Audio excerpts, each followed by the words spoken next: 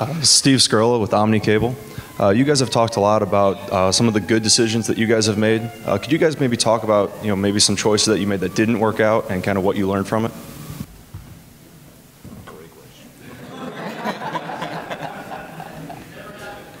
I'm not sure I wanted to admit that. I, li- I like to forget all the bad all the bad choices that I made.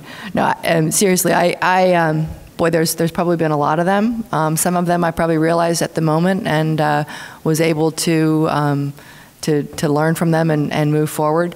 Um, other ones, um, hopefully, they're they um, I left a wake that wasn't too big to overcome. But I remember one specifically where we had uh, we had a uh, it was a, with when I was running the retail business and we had a a, a pricing issue. Um, something about taping a couple of dollars to every box just wasn't making sense, right? Uh, and I had a sales guy that kept saying, it, "It'll get better. We're going to fix this. We're going to we're going to get better. We're going to fix this." And and several uh, quarters went by, and um, I remember sitting in Gary's office, and, and he said, "Kathy Jo, you've got to fix this pricing problem. You've got to fix this." Uh, and I said, "Well, you know, you can't turn a, a, a ship on a dime." And he looked at me and he said, "It's been two quarters."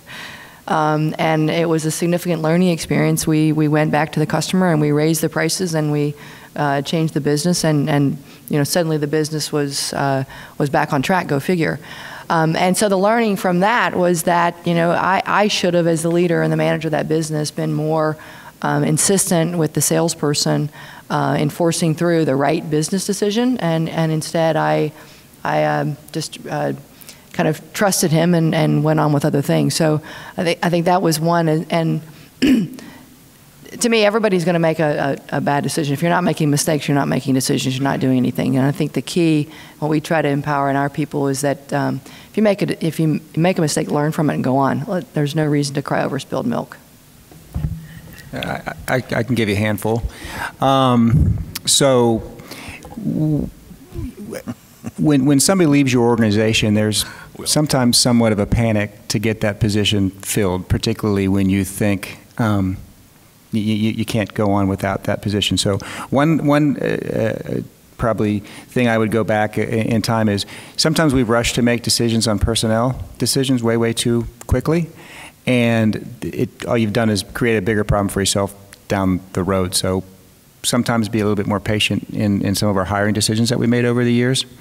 Um, second one is a couple of these tend to, to, to being too um, frugal, I'll say. Um, early on when I started our business, we didn't, um, you know, we, we, were, we were just kind of getting by. We were, we were doing okay, but not great. And our, and our credit manager, um, we had to ask to leave. And I felt like we could probably make it without a credit manager. And um, huge mistake.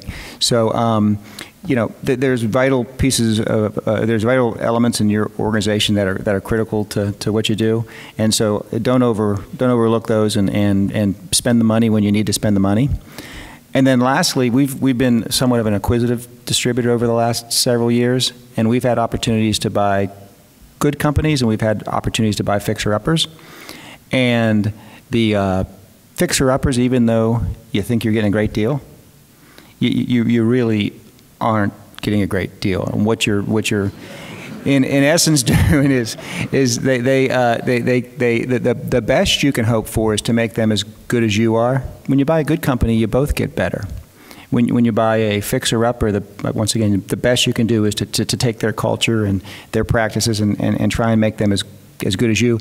And along the way, you disrupt your organization from what we're trying to do. It creates a lot of distraction and a lot of uh, mind share that's that's being used, um, you know, in an unproductive way. So those are a couple.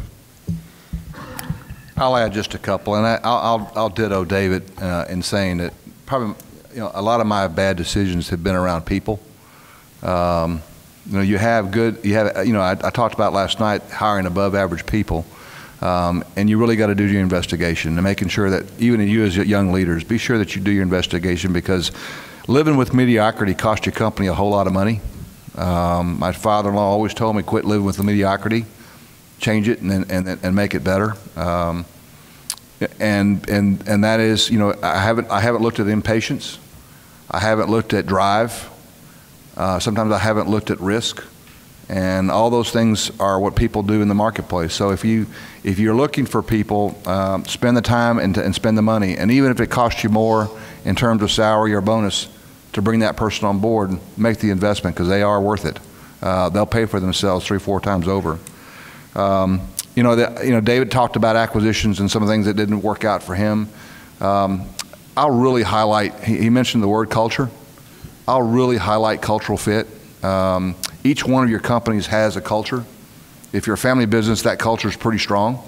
Um, if you, as you bring people on board and you think about the other things I talked about, but do they really have a cultural fit in your company? I mean, do they really, do they really uh, uh, value your ethics? Do they value your integrity? Um, and, and, are they really a part of, of what you want them to be in terms of, and, and will they grow with you? And will they keep that culture? And will they teach others about that culture? Uh, cultural fit is a big deal. So, you know, uh, uh, most of most of your decisions around people will always be critical. Um, it drives. It's it's it's your best asset. So it should be the most time that you spend. It's your A time is in front of people. Um, probably the three things that I that I that didn't work out so well for me. Number one was uh, I tend to have a as a, Chad and Neil may disagree with this, but I tend to have a big heart with, with most of our people. And I, and I hired a number of people from our competitors when we were trying to grow fast. And some of them weren't the right people, and I held on them way too long. And the, and the indicators were all there. My, my people that I trust were telling me, you know, we really ought to do something else. No, no, this is the right person. Because my image of them when they were working for my competitors and writing business against us was different than who they actually were. And, and so I made some bad decisions on hires and then held on to some of them too long. Uh, so that was one thing that I would do differently, and we are doing differently now. Uh, secondly is uh, emotions. I'm a, I'm a highly emotional guy. I talk with my hands. I'm, I'm fast paced. I, got, I want a lot of things going on at once. But I also wear my emotions on my sleeves. And, and I didn't realize how that was affecting uh, people around me, people reporting to me. I've broken keyboards. I've, I've done, I mean, I've, I, I I've done some things that, that, people outside my office got to be cringing, like, oh my goodness. And, and I really, the last couple of years, have really tried to, to harness that a little bit because it was affecting, you know, people were scared to come approach me because, you know, I was, I was, I was a bundle of nerves because I'm, I'm highly intense. And, and, and it may not seem like that now, but I've, I've tried, to, tried to harness some of that. So the second is understand that, that your emotions affect others, and, and I probably should have known that, and, and I just didn't pay attention to that. And then the third thing was, uh, for me, making mistakes was, was bringing work home with me. I'm, I'm 24-7 doing something on my phone, or if I had a stressful day at work, uh, I don't unload it on that. I've got a 20 minute driving way home, and now I unload it. But in the past, I didn't unload that, and I go home and I'd blow up at home, and and uh, so so letting work affect home was a major mistake. That did probably the biggest one. Jay, I think we have just time for one more question, and then what we'll do is we'll get the final thoughts from all of our panelists. They've given us tons of good little nuggets of information. We do have these sheets of paper on the table. If you guys have noticed yet, if you haven't, grab one. Each panelist is going to give us three uh, major takeaways um, after this last question. Hi, I'm Rochelle with Border States. Um, I know you all kind of touched on this a little bit, but in terms of people development and being a leader versus a manager, you know, explaining the why and setting the vision. Do you guys have any success stories or just tactics that have helped you effectively do that? You know, there is a difference between leader versus manager. Um, and, you know, I talked about it last night. It's not about the title, it's about what you teach. Uh, leaders teach, managers manage, they do, they do tasks. Um, you win as a leader when you can build, when you learn how to build a team, uh, and take the ego or yourself out of it, and you make others look successful. Uh, bottom line is you're successful because your team is. Um, you know, that's built into your culture. Uh, you can build your own culture. Uh, culture. You, you, can build your own culture within your organizations, but at the end of the day, um, leaders build teams, uh, managers build eyes, and and if you can figure out a way to get that done and make sure that people uh, endorse with you, you'll, you'll win as a, as a leader. You know, like I said before, Jenna gave you those three takeaway things here. This is kind of my second takeaway. The first thing I talked about before was staying up on the market trends. That's, that's important on what, what are your customers doing. Second thing is, um, is to find a mentor. And um, I've been uh, uh, thankful that some people have chosen me to, to mentor with them. Neil's one of them. Neil and I meet. We missed June, by the way, Neil. Neil and I have met every month. Neil works at a branch that's about an hour and a half away from our headquarters, and Neil and I have met every month since he's been out there, about two years now. And, um, and so my, my suggestion is find a mentor, ask them to be your mentor, and, um, and talk about the ground rules the first time you meet. What are the type of things we're going to talk about? Uh, how does that affect our relationship, the things we talk about? And, and Neil's done, I, I keep using Neil's example, but he's sitting right here in front of me. He's done a phenomenal job of kind of putting his career path together. And when we meet, he's, he's got it all on paper and we talk about it and, and what does this look like and can I do this and, and, um, and what do I need to do in order to get to these levels because this is what I want to do uh, and this is where I'm going. Um, be that type of person that has those, those things on paper and those things in mind. Meet with your mentor, get their inputs on can I do this and what do I need to do to get there? And um, I learn probably more than Neil every time we meet because uh, he, he brings so many other things to the, to the table that, that, that for me is good also. So um, establish a formal mentorship and, and um, it's, it's, it's powerful for both people.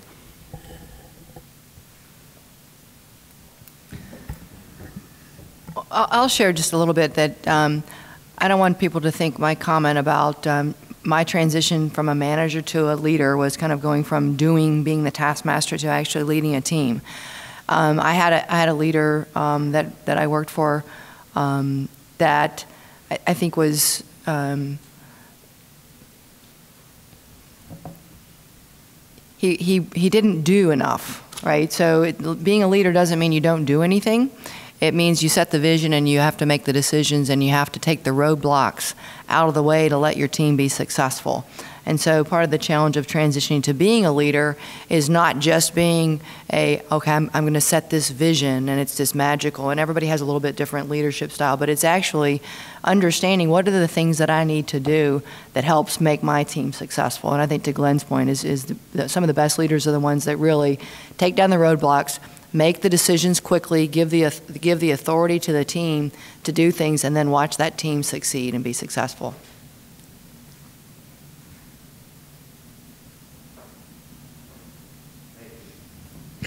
Okay, we're going to take the last five minutes here, and uh, if you have those sheets of paper ready, we're going to ask you each to just give uh, your final three thoughts. And I know everybody's been taking notes as we go, but uh, these are kind of like the big things that you want us to walk away with. Want to go backwards? Mine's pretty easy. I just gave you one and two. All right. So, so mine was mine was stay up with- stay up with the market trends and make yourself valuable to your customers. Um, and and that doesn't mean just reading an article about it. That means attending training and understanding the type of things they're doing internally, so that you can figure out how you can get involved, what your role is in what they're doing. Um, and again, I just talked about find a mentor and meet with that mentor. One of the things I didn't mention was I had a good mentor myself when I was at, E- at Eaton. I got lucky. Uh, my boss had a uh, had had no children, and his wife was a career person who traveled a lot. So he w- we would be the last two at the office almost every night. His wife would be out of town traveling. We'd be the last two at the office. We'd work till six or six thirty. Say, "Let's go get a drink." We go to happy hour somewhere. We just talk. And he became my mentor by default. I was single, living in a town. My my girlfriend was living two hours away.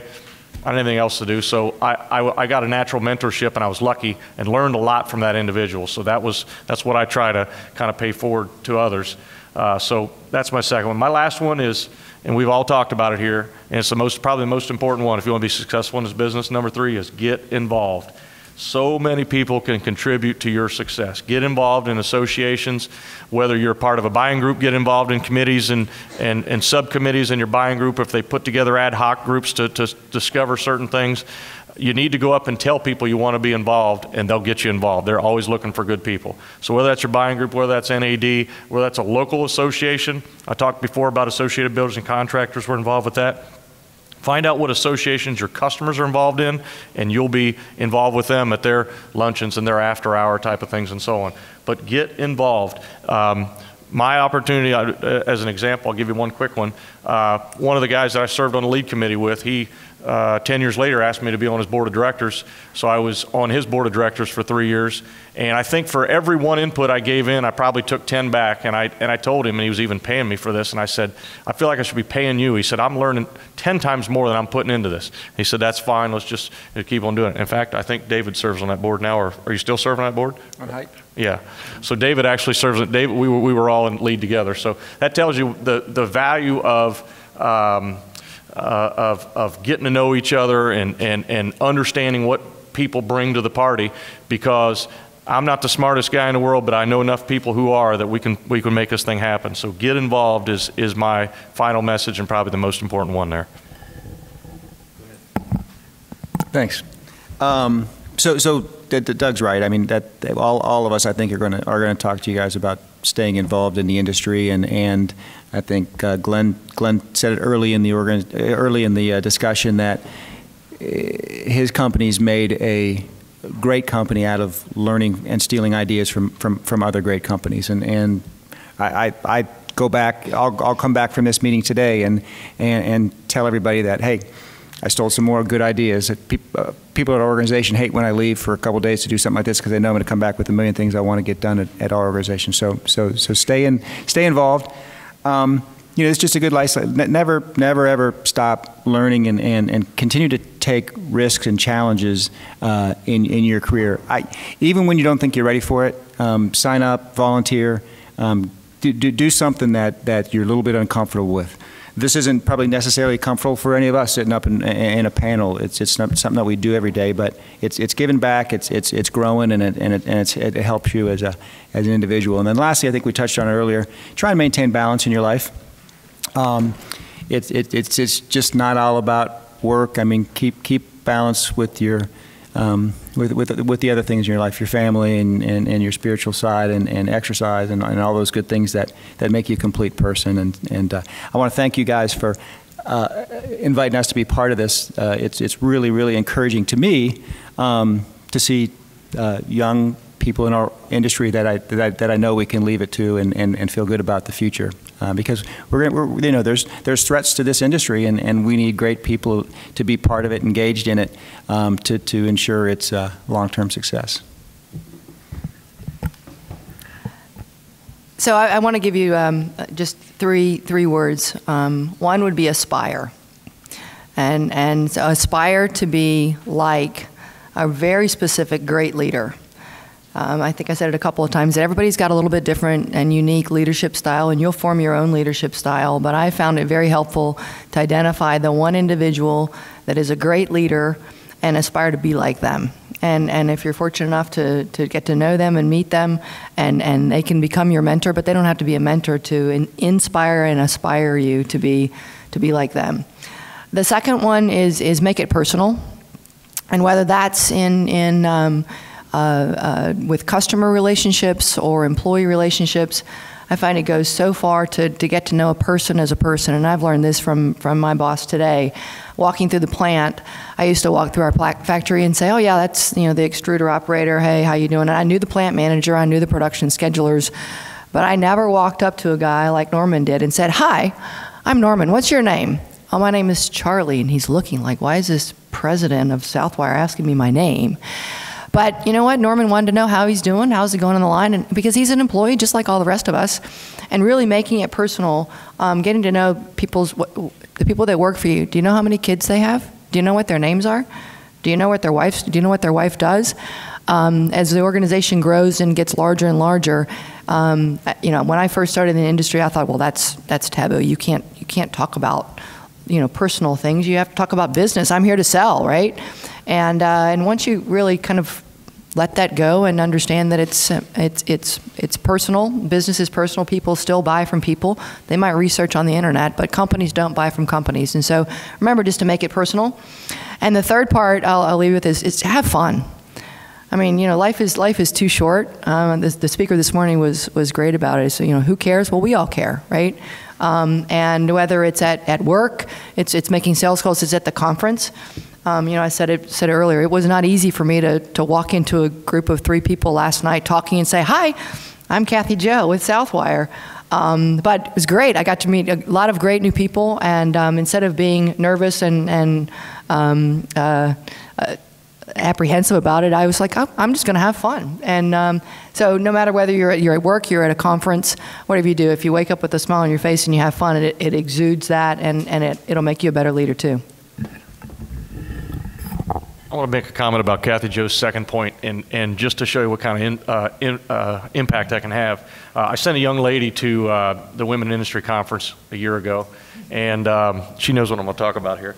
Uh, and she was, um, she's very stressed in her job. She runs all of our inventory management, our pricing, and all that. She's very stressed in her job and doesn't know if this is what she wants to do for a living. And she went to the conference and she met this person named Kathy Jo Van.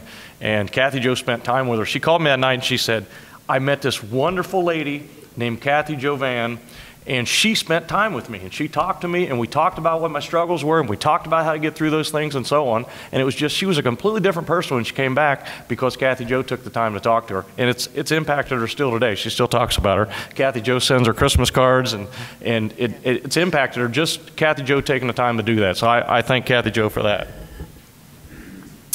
You know, I'll conclude with several sentences. Um, I started with three words network, educate, and discover. But what, what, lead, what do leaders do? Leaders ask questions, and they ask and they develop their centers of influence. Leaders listen. They listen to the answers and they take that information and use it. Leaders teach others what they learn.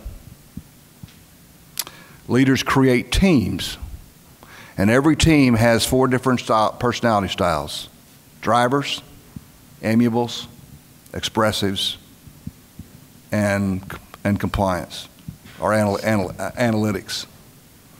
Those four, team, those four members of a team make up a team. Well, let me tell you something. That team is going to storm. They're going to, they're going to form as a team, start talking, and as they start working through the process, they're going to storm big time. Why? Four different personality styles.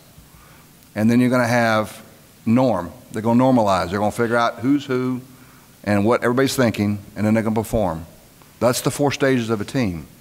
The, the best leader knows how to flex to every one of those styles and knows how to and knows when, when they're in that style and I can go through a whole style category here, but it's not about that. It's about, about the leader being able to understand all four of those styles and how to bring them together as a team. A leader visualizes. A leader knows how to build the vision for that team and gives them tasks. A leader empowers his members of the team. He's not doing the work they are. They're the ones that, that make him look, make, make him, make the vision look, uh, come to reality. A leader challenges when he doesn't think it's the right thing. Um, the leader inspects everything that he expects. You've heard all these words today. And leaders look at every single problem that that team will endure and take it as an opportunity to learn something different or to change things.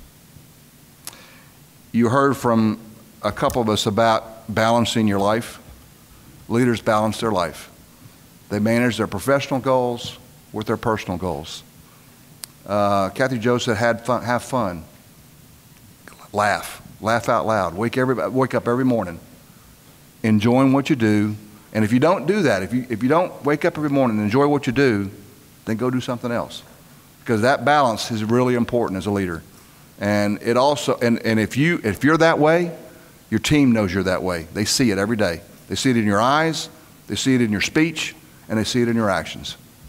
So if, if you walk away from any meeting, whether it's this one, others that you'll attend, or if you're sitting in front of your team, if you can always remember to have fun, you will be successful. Uh, with that, um, the only last one we do is sur- surround your people, surround yourself with the best people, because you will learn a lot. Thank you all very much for allowing us to participate in your in your panel discussion. Hopefully, you've learned a lot of tidbits today, and uh, and hopefully we. Uh, we can continue to be a, a, a, service to you. We're always, I think all of us have open phones and open doors to call, so feel free to call us. Thank you, guys. That was really great. And taking time out of your busy schedules to come be with us really means a lot. Um, so thank you so much. Let's give a big warm. Thank you.